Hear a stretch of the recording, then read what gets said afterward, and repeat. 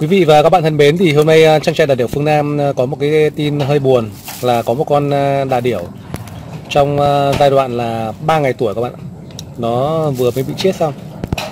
Thì bây giờ đà điểu ấy thì nó bị chết thì nó có rất nhiều nguyên nhân. Nhưng mà đà điểu này thì nó trong giai đoạn mà 3 ngày tuổi thì là nó vừa mới nở thôi. Nó vừa mới nở ra khỏi trứng được 3 ngày thì nó bị chết thì nguyên nhân ở đây phán đoán thì ờ, mình ờ, cũng ờ, chưa thể phán đoán được này nó sẽ bị chết vì lý do gì. Nhưng mà theo cái kinh nghiệm của bên mình ấy, trong nhà đại biểu phương Nam thì có rất nhiều năm trong lĩnh vực nuôi đà điểu, đặc biệt là trong kỹ thuật úm đà điểu, thì bên mình tạm phán đoán là đà điểu này nó sẽ bị chết vì lý do là cái phôi phôi của con đà điểu này này để ấp lở thành con ờ, con đà điểu ờ, con này thì nó không hoàn toàn là được ờ, chuẩn các bạn. Đấy. Nên là nó vừa mới nở ra được 3 ngày tuổi bên mình làm cái quy trình rất chi là chuẩn nhưng mà nó vẫn bị chết nhé các bạn nhé thì hôm nay là mình sẽ tiến hành mình sẽ mổ khám nó và để uh, uh, kiểm tra cái phần nội tạng bên trong xem nó có những cái gì nó bất thường không nhé các bạn nhé hiện tại là bên ngoài ấy, thì à, bên mình à, kiểm tra qua bên ngoài ấy. kiểm tra qua bên ngoài thì à, hiện nó có hiện tượng là trước khi chết ấy, thì nó con đà điểu này nó có triệu chứng là run này.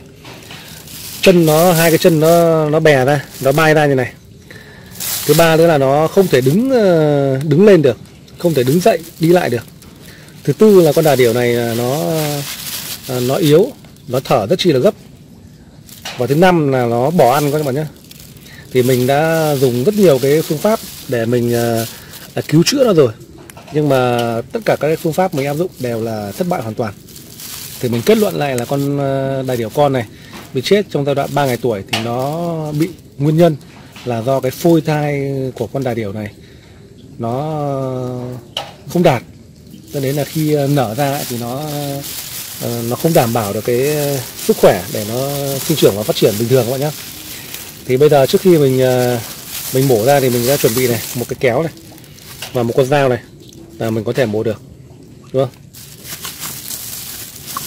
Thì cái ờ, hình ảnh này là mình ờ, cũng không muốn chia sẻ đâu nhưng mà mình quyết định là mình vẫn chia sẻ để cho quý vị và các bạn mà khi à, nuôi đà điểu thì quý vị và các bạn cũng có thể biết cái cách để mổ khám đà điểu như nào các nhé thì đây đà điểu của chúng ta con này nó chết thì người nó cứng này chân nó co lại như này này con này đấy, thì chúng ta sẽ phải đặt nó ngửa lên như này. Đó, đúng không? Thì việc đầu tiên là chúng ta sẽ phải kiểm tra là cái ngoại hình chúng ta kiểm tra rồi. Bây giờ chúng ta sẽ kiểm tra từng bộ phận một. Đúng không? Thứ nhất là bây giờ chúng ta sẽ sẽ vạch theo một đường này này. Để chúng ta kiểm tra cái phần à, hệ cơ. Vạch bên này nữa để chúng ta kiểm tra cái phần hệ hệ cơ các bạn nhé.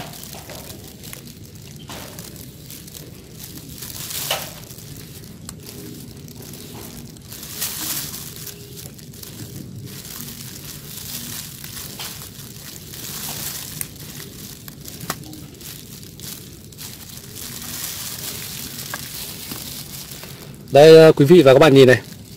Khi chúng ta à, tách một cái lớp da bên ngoài ra này thì bên trong này nó có rất nhiều cái cái dịch nhầy này các bạn đấy nhá. Bình thường ờ, bên trong ấy thì khi chúng ta vạch một cái lớp da ra thì nó sẽ đến một cái lớp màng rất chi là là tươi nhé xong đó là nó đến cái phần thịt ngay. Nhưng mà đây nó có cái phần gọi là nhầy lên này. Đây là chúng ta sẽ nhìn thấy cái phần nhầy của nó này. Đó. Đó là một cái dấu hiệu ờ, biểu hiện của sự bất thường rồi nhé. Và thứ hai nữa là trong cái phần ờ, cơ đùi này chúng ta thấy nó có những cái mạch máu này con này. Đấy chúng ta sẽ thấy nó có những cái mạch máu như này, này. đấy là ờ, biểu hiện dấu hiệu của sự bất thường nhé các bạn nhé. Đó là phần hệ cơ. Bên này cũng tương tự như vậy. Chúng ta sẽ vạch và chúng ta kiểm tra nốt.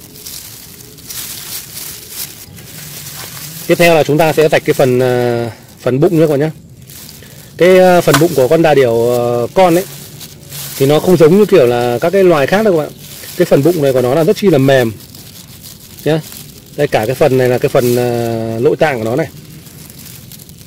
Đấy, khi mổ khám đà điểu thì nó sẽ khác với cả các cái con vật khác thuộc dòng gia cầm nhé các bạn nhé. Những con vật khác thì chúng ta sẽ tách cái hai cái phần ức ở đây này. Chúng ta bành lên là chúng ta sẽ kiểm tra ruột nhưng mà cái này của nó là bây giờ chúng ta mà mà mổ không khéo ấy, thì nó sẽ vào cái phần ruột ngay nhé. Đấy chúng ta phải hết sức khéo. Đấy chúng ta sẽ phải cầm uh, tay này này. Chúng ta cầm nhấc cái da lên này có nhận đấy. Chúng ta phải nhấc lên nhé. Chúng ta cứ để như này chúng ta rạch đương nhiên là sẽ rạch vào cái phần uh, nội tạng bên trong này chúng ta sẽ phải cầm dao này, này chúng ta nhấc lên. Và chúng ta sẽ cắt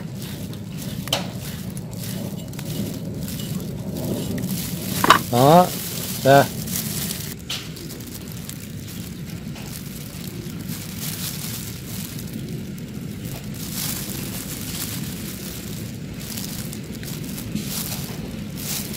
Quý vị và các bạn thân mến thì à, con đà đều là chết trong giai đoạn là 3 ngày tuổi các bạn này. Chúng ta sẽ khi chúng ta uh, tách cái lớp phần da của chỗ phần à, uh, lòng bụng của nó này, chúng ta sẽ thấy có một cái túi nó màu vàng như này các bạn này. Đây chính là cái túi lòng à, đỏ của nó các bạn.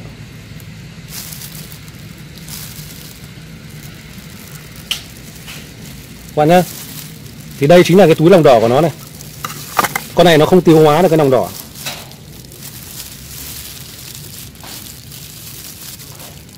đó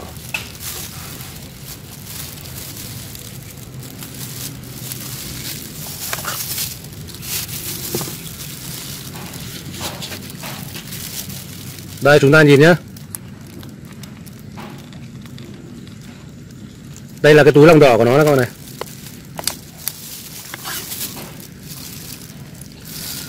Bình thường mà đà điểu à, mới nở ấy, thì nó sẽ có một cái túi lòng đỏ ở phía à, trong bụng nó nhé các bạn nhé thì à, bắt buộc là trong giai đoạn mà một tuần tuổi thì nó phải tiêu hóa hết được cái túi lòng đỏ này.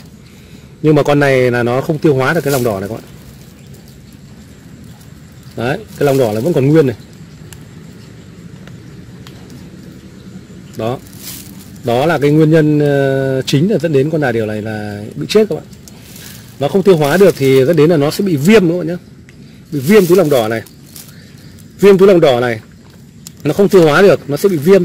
Viêm là dẫn đến là nó sẽ bị hoại tử ở bên trong, nó bị thối ở bên trong và nó không tiêu hóa được. Dẫn đến là nó bị trướng, nó đầy bụng ở bên trong và dẫn đến là con đà điểu này không ăn, không uống được và bị chết các bạn nhé đó là nguyên nhân chính. Bây giờ thì mình sẽ sẽ kiểm tra luôn nhé bây giờ mình sẽ mổ các cái phần còn lại bên trong ra để xem các cái phần cái tim này, gan này, phổi của nó có vấn đề gì không nhé các bạn nhé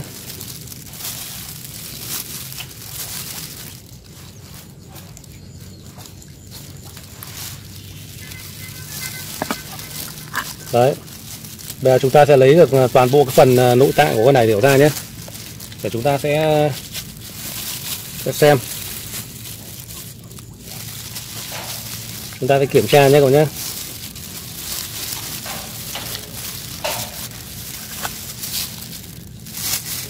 Tim của nó này.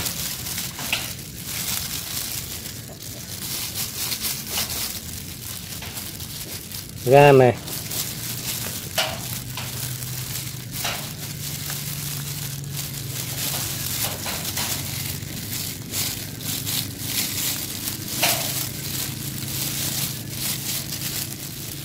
Dạ dày này.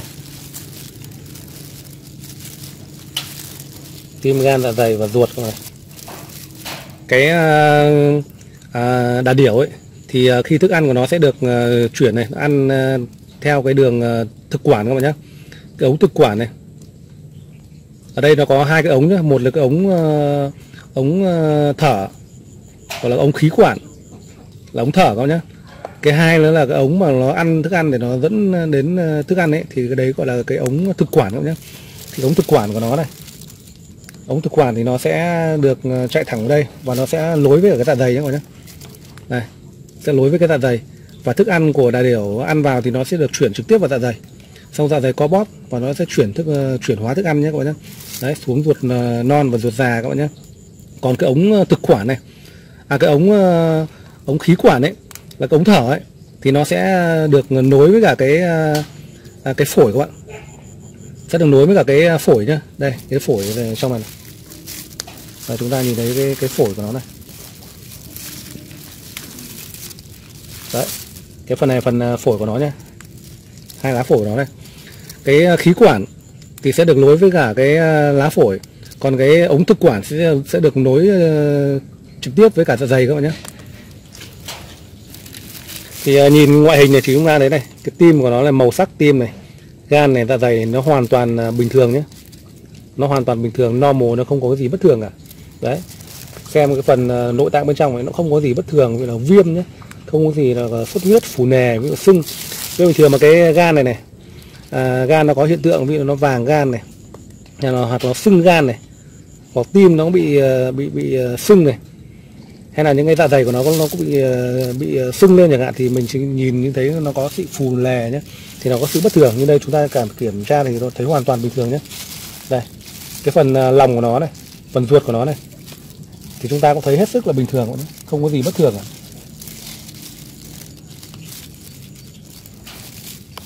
Chỉ có duy nhất một cái bất thường là chính là cái này.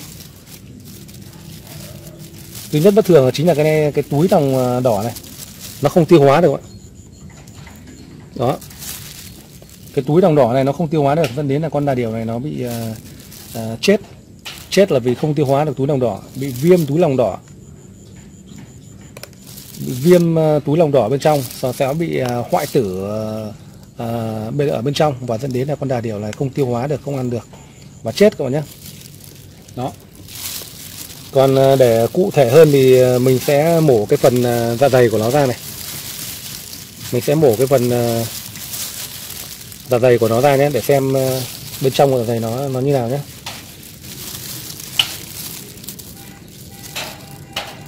Đây bên trong ờ, dạ dày của nó này mình mổ ra này thì nó thấy nó vẫn có một chút thức ăn ở trong này này. Cái thức ăn này là nó không ăn được thôi nhé các bạn nhé. Cái này là, là trong quá trình mình bón thức ăn cho nó đấy.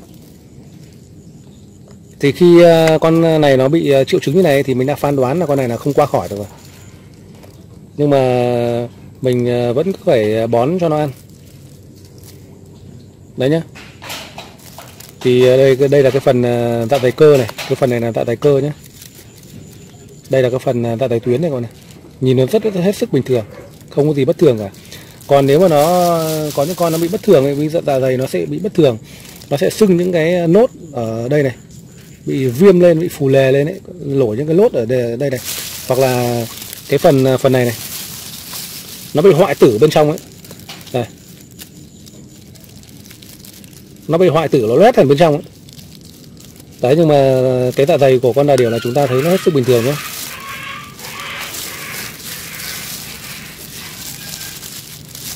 Cái phần gan cũng thế thôi. Hết sức bình thường. Không có gì bất thường cả. Phần tim. Tim cũng vậy hết sức bình thường các bạn nhé.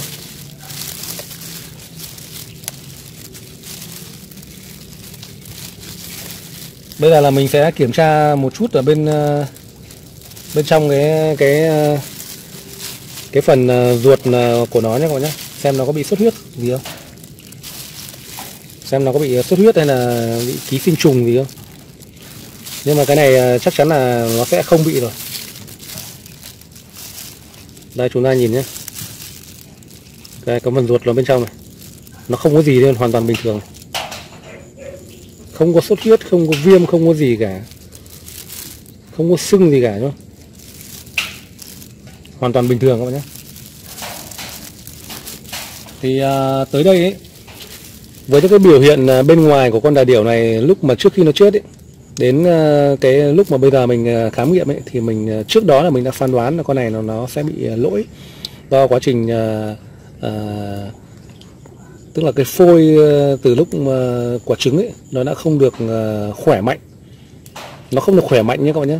Nó không được bình thường.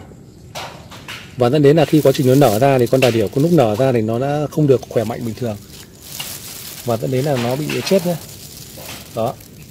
Nếu mà con đà điểu mà khi nó khỏe mạnh bình thường ấy thì khi mà nó nở ra ấy, thì những cái túi cái túi lòng đỏ này của nó này. Thứ nhất là nó sẽ teo đi. Nó sẽ khi nở ra thì cái túi đồng đỏ này của nó là nó sẽ còn bé đó các bạn. Và thứ hai nữa là trong tầm khoảng từ à, 1 cho tới 3 ngày là nó sẽ phải tiêu hóa hết. Còn nếu ở trong vòng 3 ngày đấy mà nó không sẽ không tiêu hóa hết ấy mà nó ví dụ nó tiêu hóa chậm ấy nó tiêu hóa chậm thì con đà điểu này nó sẽ uh, vẫn sinh sống bình thường. Nhưng à, đến ngày thứ tư thứ năm mà nó không tiêu hóa hết thì nó vẫn có thể là là thoi thóp nó chưa chết nhưng mà đến ngày thứ sáu thứ bảy thì nó sẽ chết.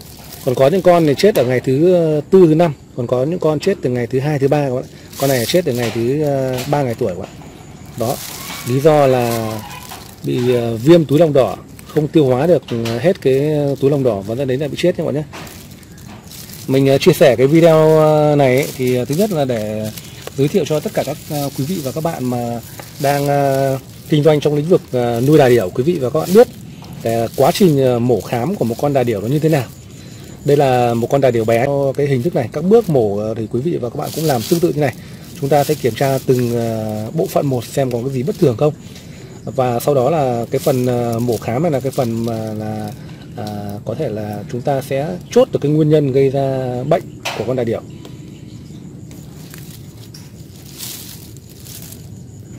Cái những cái hình ảnh mà mổ khám đà điểu này thì chưa từng có trên uh, uh, video luôn chưa có một uh, bất kỳ ai chia sẻ cái hình ảnh này hình ảnh này cả. Nên là hôm nay mình quyết định là mình sẽ làm cái video này và chia sẻ để cho tất cả các quý vị và các bạn mà khi nuôi đà điểu ấy quý vị và các bạn mà có những cái hiện tượng xảy ra liên quan đến bị chết do bệnh lý ấy, thì quý vị và các bạn sẽ biết mổ khám và chuẩn đoán bệnh nhé các bạn nhé.